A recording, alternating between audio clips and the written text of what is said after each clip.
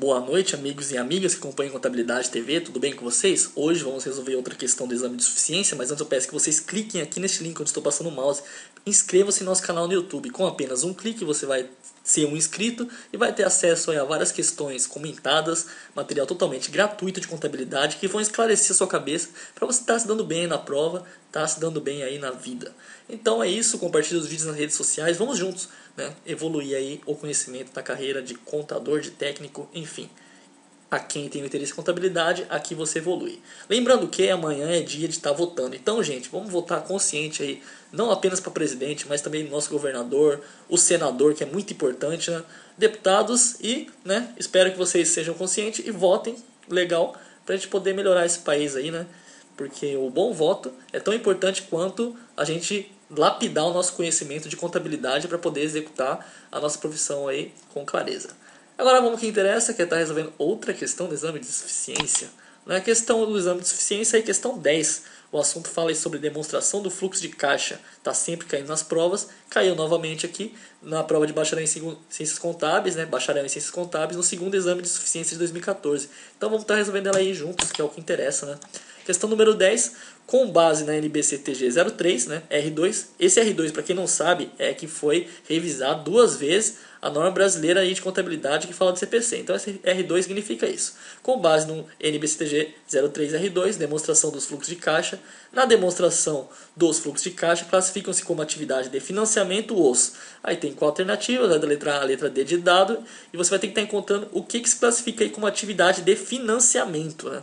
Eu peço que vocês pausem o vídeo e tentem responder. Em seguida, eu vou estar mostrando para vocês ali a parte da norma que mostra para vocês o que, que é atividade de financiamento. Então você nunca mais vai errar nenhuma questão quando falar sobre atividade de financiamento. Tentem fazer em casa, em seguida a gente vê a resolução. E aí, pessoal, pausaram o vídeo, tentaram responder? Vamos ao que interessa, vamos dar uma lida aí na norma.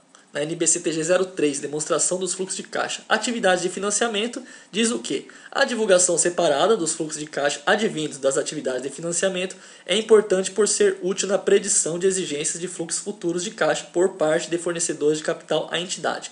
Exemplos de fluxo de caixa advindos das atividades de financiamento são Aí tem aqui um exemplo da atividade de financiamento, que é o caixa recebido pela emissão de ações ou outros instrumentos patrimoniais.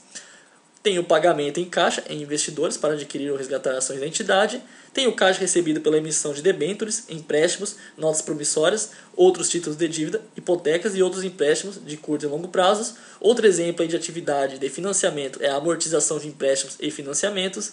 E outro exemplo, para finalizar aí a norma, fala que pagamento em caixa pelo arrendatário para redução do passivo relativo a arrendamento mercantil financeiro também é um exemplo aí de financiamento. Então a gente vai ver aqui que na questão é, o gabarito vai ser a letra D, né? D de dado, né? Recebimentos em caixa pela emissão de debêntures, empréstimos, notas promissórias, outros títulos de dívida, hipoteca e outros empréstimos de curto e longo prazo como diz aqui né, a parte C da norma. Né? Você vai ver que praticamente diz a mesma coisa. Né? Caixa recebida pela emissão de debêntures, né? é o que diz aqui. Depois ele fala ali em empréstimos, notas promissórias, outros títulos da dívida, hipotecas e outros empréstimos, empréstimos de curto e longo prazo. Então eles pegaram esse item C da norma, copiaram e colaram aqui né, no, na nossa questão 10. Então é uma questão que assim exigia que você conhecesse a NBCTG 03. Né? E eu vou dar uma dica para você. Se você não conhece a NBCTG03, você vai estar tá fazendo o seguinte, né? Para você, você vai vir aqui no seu navegador, digitar aí, né, CPC né, 03, CPC 03, né, tranquilo aí. O seu Google vai procurar para você, né, CPC 03 e você já vai achar gratuitamente é, a demonstração do fluxo de caixa, né? Você vai entrar aqui no site cpc.org.br e você pode estar tá lendo aí, né? O CPC 03 tem muita coisa interessante, fala o que é o fluxo de caixa, o que, não é, é o que, que não é atividade de financiamento, o que, que é, né? várias coisas, atividades operacionais, o que, que é atividade de investimento, de financiamento, o conceito, como que se elabora um fluxo de caixa. Tá tudo aqui né, no pronunciamento, é gratuito, vale a pena estar tá conferindo para nunca mais estar errando esse tipo de questão do fluxo de caixa, que é o que está sempre caindo aí né, no exame de suficiência. Mas você vê então que o gabarito da questão aqui foi a letra D de dado. Então, questão bem tranquila aí, bastava apenas estar conhecendo a norma. Agora eu vou falar um pouquinho aí do curso de contabilidade, apostilas em PDF. Curso de contabilidade geral, né, que fala do básico ao avançado, é 10 módulos com 890 páginas. O curso de contabilidade de custo, 5 módulos com 294 páginas.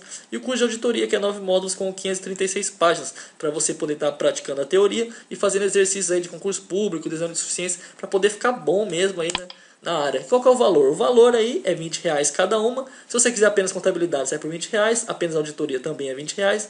E apenas curso sai por 20 reais. Se você quiser todas as apostilas, você vai pagar 50 reais. Vai ajudar o canal Contabilidade TV a continuar no ar. E ainda por cima vai poder estudar bacana e vai poder praticar legal. Muita gente comprou e tem dado bastante resultado, como vocês podem ver aqui nos comentários do Contabilidade TV. O pessoal tem passado aí legal na prova.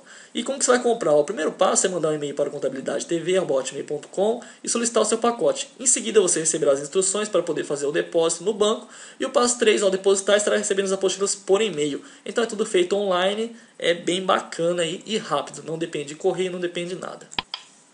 Então é isso, galera. Muito obrigado por assistir o vídeo. Se ficou alguma dúvida, mande um e-mail para contabilidade.tv.com. Vou ter o maior prazer em respondê-las. Também peço que vocês cliquem nesse link para estar inscrevendo no nosso canal no YouTube. E vamos aí, né? Até o próximo vídeo. Valeu, galera. Deus abençoe. Fui!